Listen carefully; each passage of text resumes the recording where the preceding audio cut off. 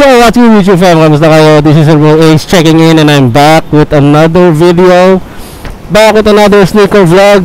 So ukay-ukay tayo ngayon fam. Nandito tayo ngayon sa Cityland Crossing. Kung makikita ninyo. Yan. Wow. So dito tayo ngayon para tignan yung new arrival nitong Jersey o sa My City Pawn Shop dito nga sa Cityland. No? Kaka yung arrival lang nila ngayon. May nakapagtimbre sa atin si Boss Jello Alino. Shout out to you fam. Thank you so much sa mag-tip. No? So again, shout out Jello Alino. So ngayon, hindi pa tayo pumapasok sa loob. Titignan pa natin kung may magaganda. Pero feeling ko naman, lagi naman may maganda dyan. Samahan nyo ako. Tignan yung mga sapatos. But before we do fam, if you're new to the channel, please click on the subscribe button down there. Ngayon na, pulang, pulang button lang yan. Isang click lang yan. Di okay na okay na tayo.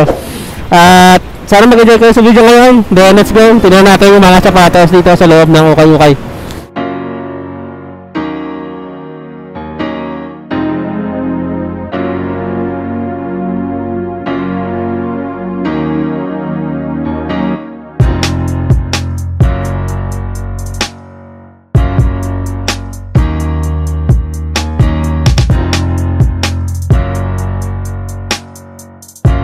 Ah, pala Pam, nakakita tayo na isa sa mga viewers natin, si Sai.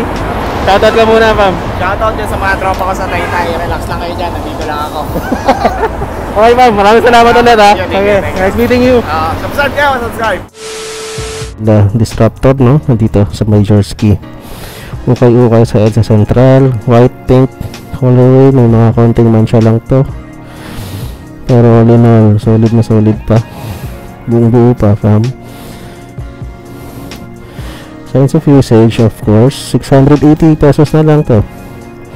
Size niya is 240 eh. Di ko alam kung ano yung 240. Size 7 ba yan? Size 6.5? I don't know. Ito po siya. Ito po, New Balance size 6. Fresh foam, Boracay po, nakalagay dyan sa gilid. Nice na nice to. Ganda ng colorway niya. Medyo purple, no? Tsaka gray. Tapos nag-gradient dito sa may midsole. Kita nyo naman. Outsole niya, wala tayong problema dyan. 680 pesos lang din to, fam. Yan po. Puma suede po, size 5 and a half. So, dito lang muna tayo sa mga maliliit na sizes, no? So, i-check lang natin dito yung mga medyo interesting na sapatos. So, habang papaliwanag akong ganyan, tingnan na lang po yung details niya. Medyo yellowing na po yung kanyang midsole. 680 pesos lang din po. Marami rin dito, no? Ah, mahirap na isa-isa yan kasi magaganda talaga yung kondisyon nila lahat. So, merong NMD dito, size 6. Ayan po siya. Ang presyo nito, 880. Meron ding New Balance 999 size 7.5 ayan siya. 680 lang din to. Mura na ito oh. ganda pa. Oh. dito pa lang sa ilera sa baba maganda na. Tapos meron pang pure bounce dito. Na parang pang cancer awareness pa yung kanyang design yan po nakalagay pure bounce plus. Presyo nito sa kabilang sapatos yata. Size po niya hmm. size 6 and a half po. Ayan. Ah ito 1280 to. Maganda ganda pa kasi yung kondisyon niya. Bagong bago pa halos ganyan po yan may sulok. Babesta from a bathing 8 may nakasulat dito sa loob. Ah, check natin ha? 8 yata. Hindi ko rin alam eh. Check natin. Yung nakalagay. Walang ink or something. Tapos babes na po dito sa loob size 6 po ito ganda pa oh 1680 yung kanyang price Yan po. Dito po sa taas, meron pong up tempo dito na size 7.5.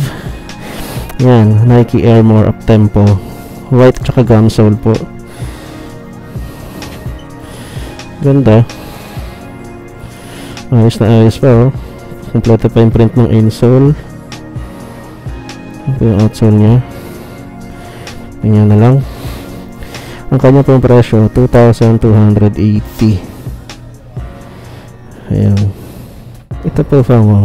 Adidas Ultra Boost na Parley.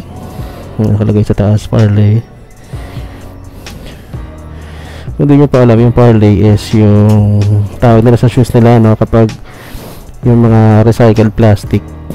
Tapos yan, ginawa na lang sapatos. So, ito po yung product nun. Size 6 and a half. 780. Mura na para sa UB. Size 6.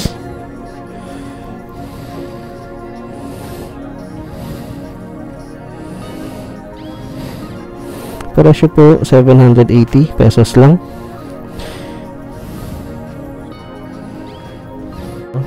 Ah, medyo luma na, faded na yung suede. Ito, Air Jordan Flight 45 po. Malit lang yung size. Ah, size 5.5Y. So, Euro 38 siya. Yan po. Jobos lang katapat niya para umitim ulit. Outsole po ito. So, sa mga anak ninyo, kung kasya sa inyo tong size na to. 1280. Air Jordan Flight 45 Nike Air Flight 89 na size 7 yun. Feeling ko ito yung mga sapatos na sinuot ni Kanye na hindi naman masyado nag-hype talaga. 1280 usually kasi si Kanye pag may sinuot nagiging hype ngayon, ito, hindi naging hype to. Pero maganda pa rin itong sapatos na to. Ito, fam, oh. Nike Zoom Kobe 10. Malaki to, fam. It's either mga nasa size 13 or size 14 to kasi sobrang laki niya, oh. 2,880. Yan po. Woo! For size 7Y. Nike Air Max 90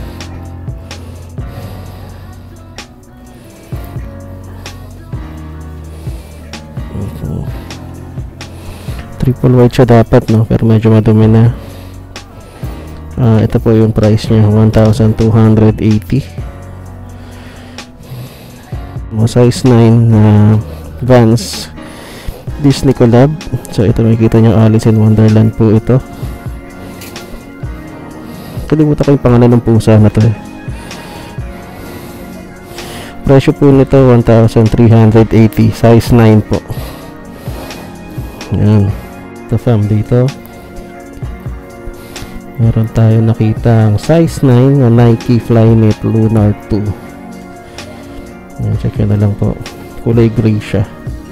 Ganda medyo madumi nga lang tong part na to. Pero okay na okay pa to fam oh Oh.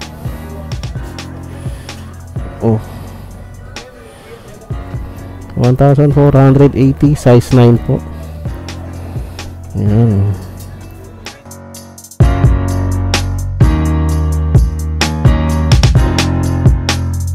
So, size 9.5 to na Adidas EQT Boost ganito yung model na nakuha natin sa Kiribati dati na 900 pesos lang. Pero maliit lang yung size nun. Tsaka mas beat yun kaysa dito.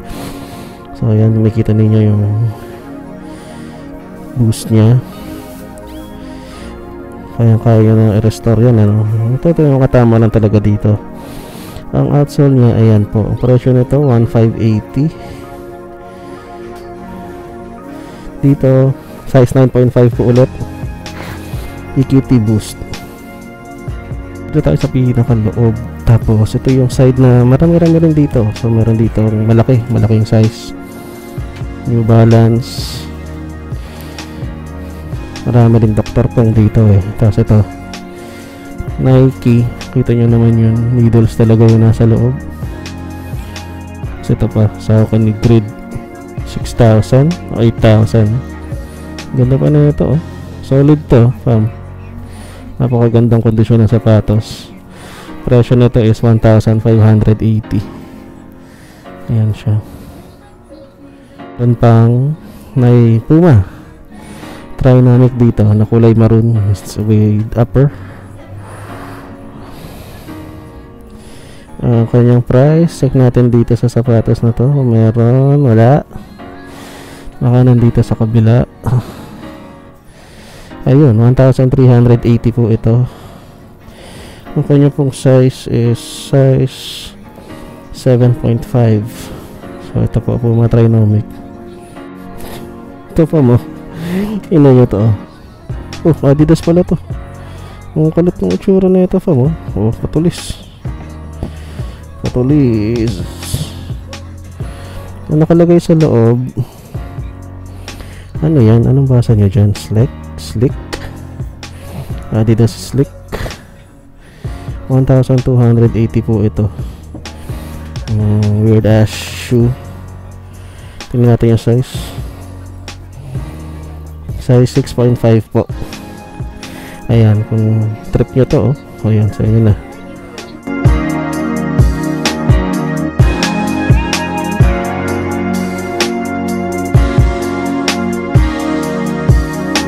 From mo. Nagtatago siya sa taas. Ang ganda ng colorway ng New Balance 530. Ang kanya pong size is size 9. So, ayan po siya.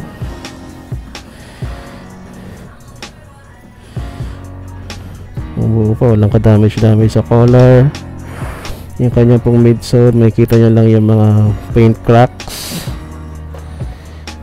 Ayan. Ilalim po niya, kita nyo pa naman ano. Ang presyo po is parang 1280. New Balance 530 size 9, 1280. Pupunta po kayo dito, so maghahanap kayo ng Chuck Taylor.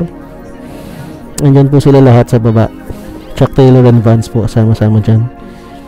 Check nyo na lang po yan. O, nakakita tayo. Ito, Adidas na to. Ano nga bang ID na ito? Paki-comment nyo naman dyan sa baba. Ang nakikita ko dito is yan. Adidas Consortium eh. Pero iba yan eh. So, ito po siya. Chunky na ng sapatos na to. Ano? Ganda pa ng leather material. Oh. oh. Bumbuo pa. Fam, magkano ba to? Tsaka size. So, ito is 2580. Oo. Ayan, ayan mag-focus. Focus. Focus, ayan. 2580 po. Tapos, ang kanyang size. Size 8 and a half po, fam. So, ito po. Ang ganda. Ganda sapatos. Tayo yung Jordan 7 dito na sweater to eh, no? Jordan 7 sweater. Ang ano ko lang dito is bakit parang sobrang baba nito yung Jordan na yan. Dapat yun nandito sa taas eh. Pero andyan siya. Pero maganda naman to. Ang buo pa. 1880 size po niya size 6Y ayan po